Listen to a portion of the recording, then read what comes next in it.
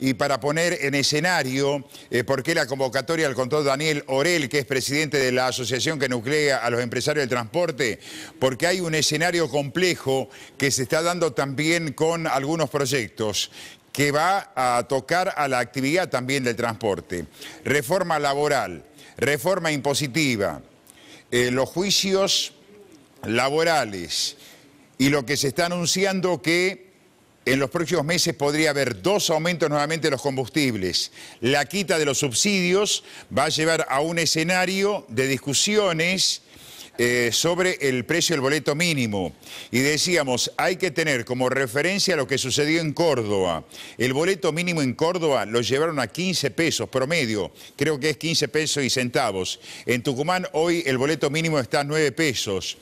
Van a hacer un estudio de costos, la información que tenemos en la producción, para luego hacer el pedido en los estamentos correspondientes, que es el Consejo Deliberante, y debemos recordar que el boleto interurbano está a tiro de un decreto de la provincia. Esto se va a definir también en la reunión que van a mantener los empresarios en Capital Federal en los próximos días.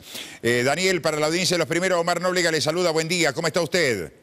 ¿Qué tal, Omar? ¿Cómo le va? Saludo a usted y a toda su audiencia. Tal vez por allí se nos pueda estar escapando algún detalle. Eh, tengo entendido que por lo menos usted en forma personal está viajando a Capital Federal.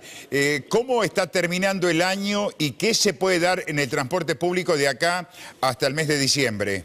Y bueno, se imagina que con todas estas novedades que usted acaba de mencionar, eh, bastante preocupado y con una tarifa este, totalmente desactualizada desde hace un año, cuando todos los insumos nuestros han subido, eh, pero este, sistemáticamente durante todos los, meses.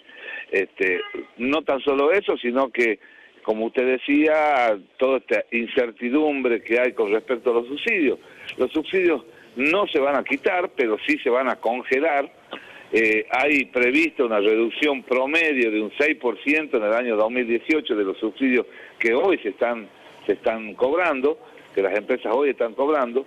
Eh, a esto se suma una, una parte de la paritaria del año 2017 que se, se tiene que hacer efectivo en el mes de enero eh, y, que, y que no se contemplarían en subsidios cuando el Estado Nacional hasta acá vino acompañando con subsidios los incrementos salariales del personal. Entonces, una serie de, hechos que nos preocupan muchísimo, sobre todo cuando tenemos una tarifa desactualizada, ya desactualizada, este, y aparte de eso, eh, eh, hay, hay algunos indicios que hablan de eh, incrementos eh, este, eh, mensuales, que, cosas que, que, no nos permitirían recuperar los déficits que, venimos acarreando. Este, es preocupante realmente la situación y máxime en este momento cuando las empresas en Tucumán han entrado en un, en un proceso de renovación de flota bastante importante, una renovación de flota que viene, eh, que trae aparejado eh, el tema de la el aire acondicionado, que, es un, mayor costo bastante importante, eh, el tema de, la, de, los, coches de piso bajo o con rampas para discapacitados, que es una exageración, que el 50% de la flota tenga unidades de piso bajo eh, con el con el con el significativo precio que tiene este tipo de unidades cuando la demanda es prácticamente nula.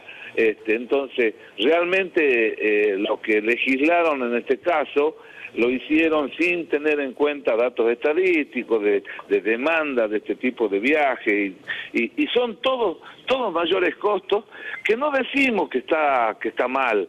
Eh, nosotros estamos de acuerdo en que el transporte se tiene que modernizar el transporte tiene que tener coches con aire acondicionado todos los, los coches tienen que tener aire acondicionado. Pero todo esto cuesta Omar todo esto es mayores costos, todo esto es más plata, más dinero que se tiene que invertir. Entonces, realmente muy preocupado porque son una serie de cosas que se han juntado en este fin de año y que hacen que este, veamos el futuro con bastante bastante inconveniente, con bastante problemas, ¿no? Ahora, eh, Dani, voy a ser un poco atrevido, ¿no? En este sentido, bueno, la información que manejamos, incluso a, través de la propia producción de César Juárez, eh, lo, siguiente.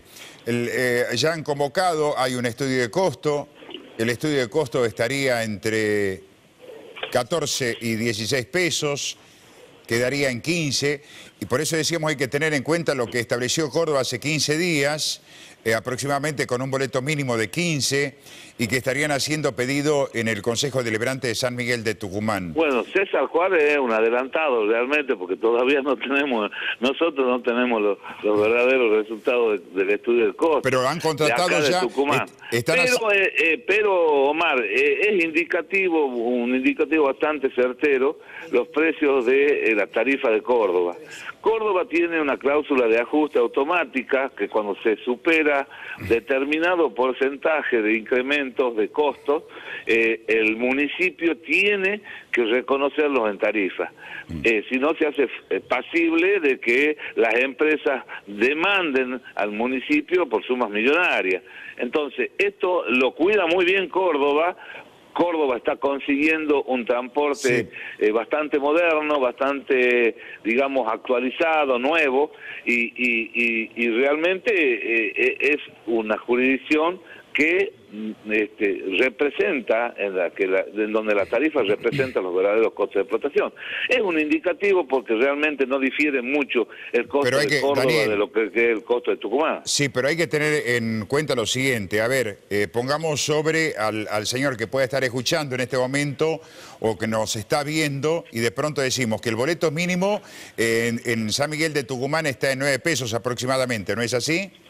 9.35, Bien, 9.35. Y de pronto le decimos que el estudio de costo arroja un valor de 15 pesos. Es muy fuerte escuchar que de 9 pase a 15 pesos. Por eso es que decimos... Eh, sí, realmente eh, en esto tiene que ver, eh, siempre tiene que ver la cuestión social, la cuestión política, la cuestión económica que, que, en, la que estamos imbuidos, pero en la que estamos, en el país que estamos. Pero realmente la empresa no conoce de, de, de problemas sociales o problemas políticos, la empresa conoce de temas económicos. Y en la empresa, eh, si yo tengo un peso del salario, un peso de, de, mantenimiento de unidades y un peso de renovación de unidades, y bueno, yo tengo que recuperar esos tres pesos, los tengo que recuperar en tarifa. Mm. No, pero estamos, no, pero estamos lo que hace el gobierno nacional, lo que hace el gobierno nacional, otorga subsidios para que el, para que el ciudadano pague menos. Ahora, el gobierno nacional hoy está anunciando 45% de aumento de gas, está anunciando eh, 40% de aumento en la luz, está anunciando aumento en los combustibles. Entonces, realmente usted diga, ¿dónde vamos a? Estamos en proceso inflacionario. Mm.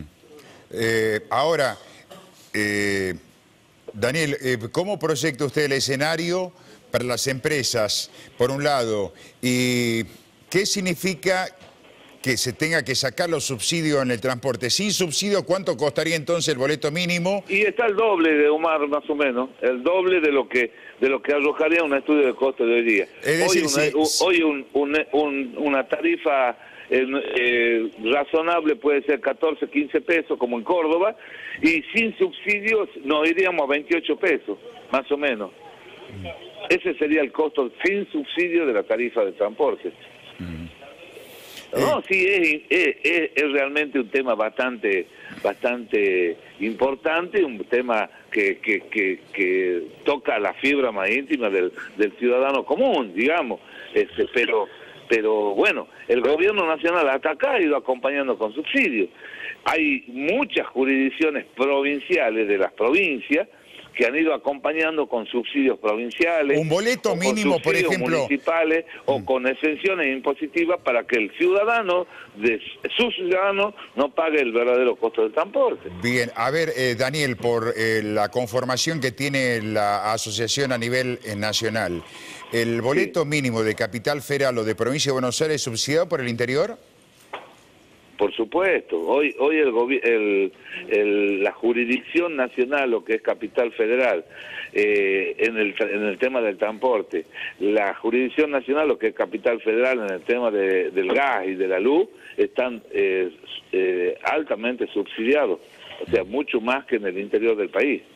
Bien. es por eso que hoy el gobierno nacional hace una diferenciación en lo que es los aumentos de gas y de luz para la capital federal de lo que es para el resto del, país. Eh, a esta hora se imagina la, gente desayunando, aquellos pocos que nos pueden estar viendo, eh, con este tema. No quiero abusar tampoco de algunos detalles y anticipos que usted nos está dando en lo macro. Pero ustedes dicen, si el estudio de costo establece la cifra que puede establecer 16, 18, 20 pesos, ahí van a basar ustedes el pedido que van a hacer al Consejo Deliberante, porque decíamos, en la capital el boleto mínimo depende de un tratamiento que deben pasar por las distintas comisiones. Sí, del Consejo Deliberante. Del Consejo Deliberante, para luego transformarse en ordenanza. ¿Ustedes van a ir por el estudio frío que arroje el estudio de costo? Usted sabe que nosotros nunca hemos hecho eso.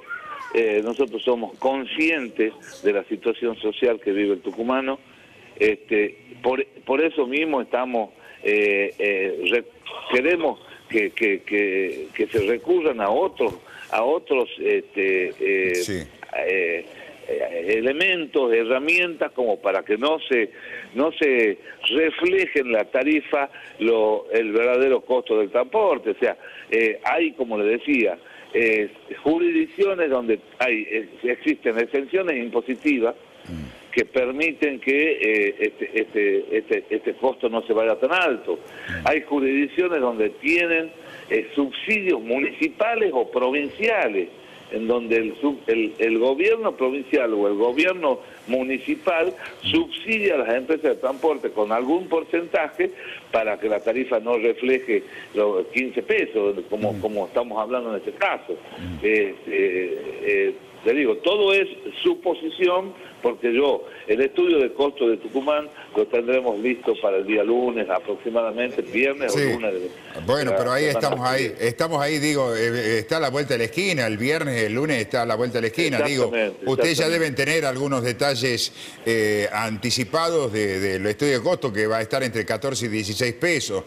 Eh, nosotros, un indicativo de lo que, de lo que significa el precio en Tucumán es eh, la tarifa que se fijó en Córdoba. Mm. Es un indicativo. Eh, puede estar por, por debajo de eso eh, o por encima de eso, según la presión fiscal que exista en, una u otra jurisdicción o, los mayores costos de flete para, para los, los insumos que tenemos en el transporte.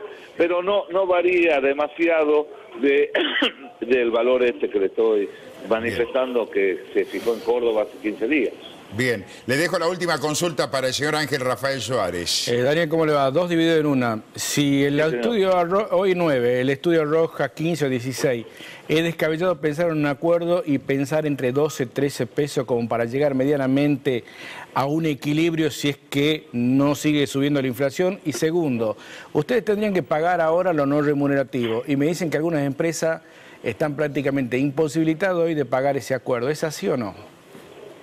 Eh, en realidad, los no remunerativos estos están siendo reconocidos, los que tenemos que pagar en este mes están siendo reconocidos en subsidio por el gobierno nacional. Sí. Eh, lo que no estaría siendo reconocido es el, el incremento salarial que empieza a correr a partir del primero de enero. Esto es un 6 o un 7% que tendríamos que pagar en con el sueldo de enero y que no está reconocido en subsidio. Esto ya es así porque el gobierno nos anticipó, el gobierno nacional nos anticipó de que el subsidio no va a cubrir ese, incremento salarial, eh, que ese, ese incremento se va, se va a cubrir con incrementos tarifarios. Este, nosotros estamos eh, totalmente abiertos al diálogo. Eh, nosotros tenemos que conseguir una tarifa hoy base y podemos llegar a, pensar o a, negociar una tarifa progresiva con incrementos eh, dentro de tres meses o dentro de cuatro meses o dentro de, eh, de, alguna forma que no sea, que sea una cosa más suave como, como se ha hecho en algunos otros servicios eh, de, este, de, este, tipo. Lo último, porque sé que está a punto de abordar el avión. Daniel, eh, así como se aplica en algunos municipios, el caso de la capital, también eh, en otros municipios de la provincia, el boleto gratuito estudiantil, por allí se está pensando en la legislatura de algunos legisladores plantear también la necesidad de incorporar el, el boleto gratuito para todos los estudiantes provinciales. ¿Usted cree que esto es factible? Esto es lo mismo que la que la sábana corta, eh, Omar.